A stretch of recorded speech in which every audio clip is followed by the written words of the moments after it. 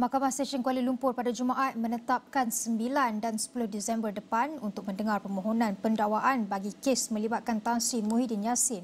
Pihak pendakwaan memohon agar empat pertuduhan menggunakan kedudukan dan tiga pertuduhan menerima wang hasil aktiviti haram dihadapi bekas Perdana Menteri itu dibicarakan bersama.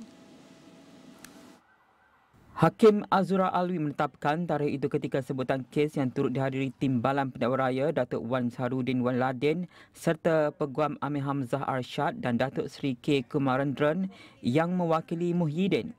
Terdahulu Wan Syarudin berkata kesemua tujuh pertuduhan yang dihadapi Muhyiddin perlu dibicarakan bersama kerana ia berkait. Amir Hamzah berkata pada tarikh berkenaan, mahkamah juga akan mendengar permohonan pihak pembelaan untuk membatalkan permohonan pendakwaan supaya kes dibicarakan bersama. Wan Saharudin juga memohon mahkamah supaya menetapkan tarikh perbicaraan bagi kesemua kes namun pembelaan tidak setuju perkara itu. Amir Hamzah berkata pihaknya perlu berbincang dahulu dengan peguam utama Datuk Hishanteh Potek mengenai hal itu.